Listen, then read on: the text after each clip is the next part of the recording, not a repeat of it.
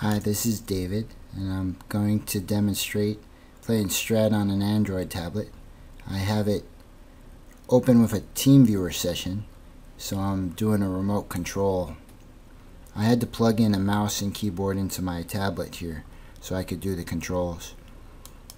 Now, rolling the dice is pretty easy. There's one out.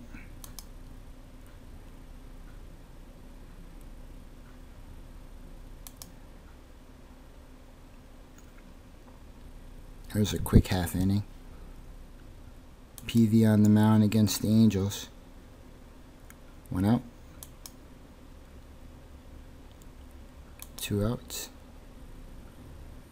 Three outs. Oh, there's a basic inning there. Pretty fast. Didn't have to make any decisions with the menus. But with a mouse, it's playable. I have it at the resolution of my laptop 1360 by 768 so it doesn't look too bad either.